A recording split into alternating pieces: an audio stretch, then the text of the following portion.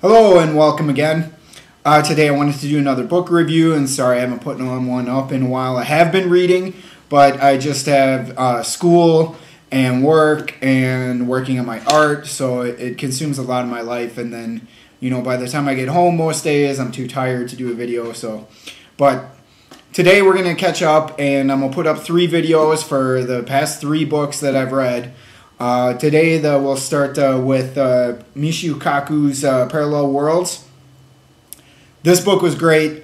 Um, if you read The Elegant Universe, go to this one. You know, this one was great as well. Uh, it's a bit different than The Elegant Universe, but this book, like, it almost borders on science fiction. That some of the stuff is just like, are you serious? Do scientists actually sit and think about this? But it it opened up a lot of things that you know I had still had questions about from the Elegant Universe because the Elegant Universe is great. I love that book, but um, he tries to keep it in you know more practical terms and doesn't get too much into you know the the possibilities. You know he um, he tries to keep it grounded on like what they know for certain or what they suspect to be true.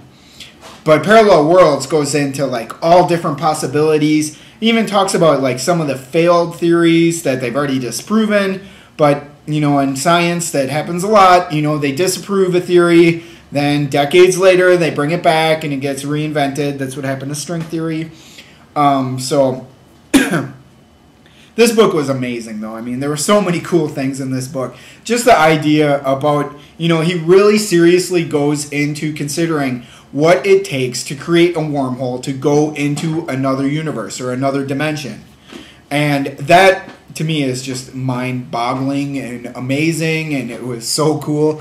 I mean, I, I was reading this book and I actually thought, I was like, wow, they might actually be able to do it. They might actually be able to transmit information or even like a spaceship or whatever to another universe or another dimension. And he really goes into the possibilities more on this in this book than like um, you know Brian Greene's Elegant Universe. But this book was great. It was so cool.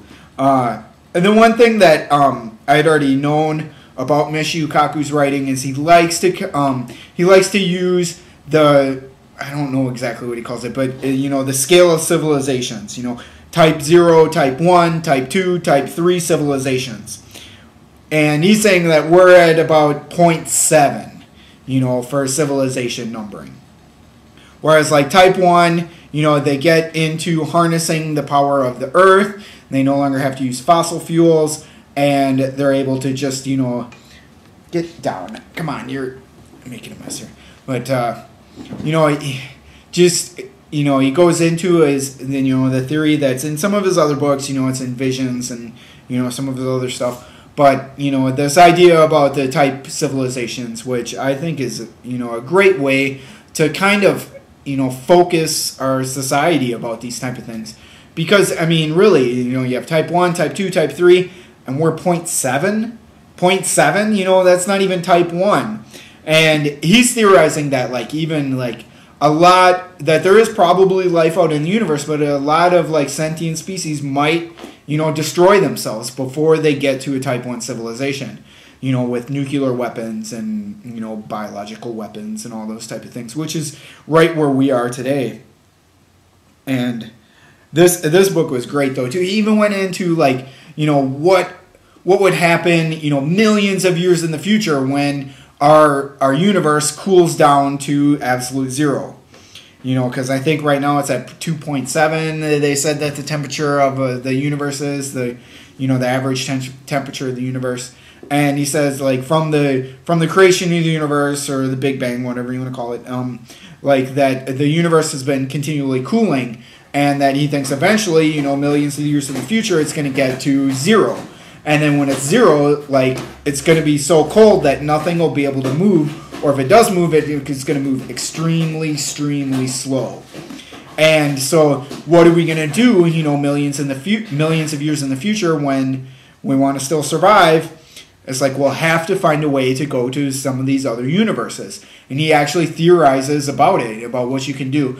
And I thought that was really cool. There was a part where he's talking about, you know, maybe black holes, like the center of black holes, like go into another universe.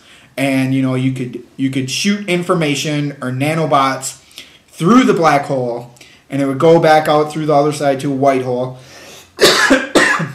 Excuse me. And then you know, these nanobots would go through the black hole and go to this other universe, go find raw materials there, and then, you know, construct more nanobots from the raw materials and then make them in nanobots, construct factories, and then the factories construct, you know, whatever to we need to replicate life in this other universe. Because he was thinking like you know it's it seems possible that they might be able to open a wormhole but that it's going to be at like an atomic or subatomic level and then so i mean you can't just have a spaceship go through there.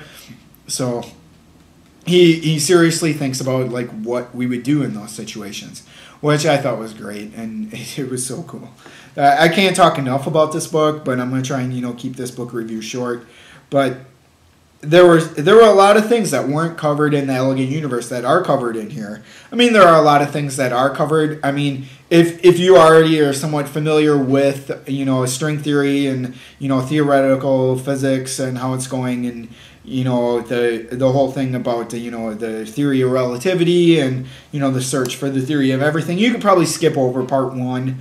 But I read it, you know, just to you know get a refresher on these type of things but this book was great. You know, the last the last part I I kept reading over and over again, and you know it's it's so cool how like a lot of a lot of entertainment now is even getting into like these ideas of theoretical physics. And I was just watching uh, like this new teaser for um, the TV show Lost. If anybody watches that, like it has the uh, the guy from the Dharma Initiative who always does the training films for it, and he was talking about how like one of the stations creates kind of a Casimir effect. And it's like they were um, saying that like well the Casimir effect like when you put two plates on there and they're electrically charged or whatever and it creates negative energy and it's possibly that this negative energy is what you use to create wormholes. So I think, you know, that's where these people in Lost are getting their whole ideas is actually from things like this parallel worlds, parallel dimensions, parallel universes. They could be right here. Could be another dimension, you know, the fifth dimension or whatever. Now I'm trying to get to it, but I can't just because I'm trapped in these, you know, three spatial dimensions and time. So I, you know, any fan of theoretical physics, go and pick up his stuff. Um, I don't know. I think I think Brian Greene's writing style is maybe a little more uh, attainable a little easier to grasp. But I'd say if you if you read the Elegant Universe or any of these or the Nutshell in Universe even too, um, you know if you read Stephen you know some of the Stephen Hawking stuff, I would move on to this book. Um, it's going to get you more interested in it, more involved. So pick up Parallel Worlds. Check out my next video. It'll be uh, another book review. We'll do uh, two more.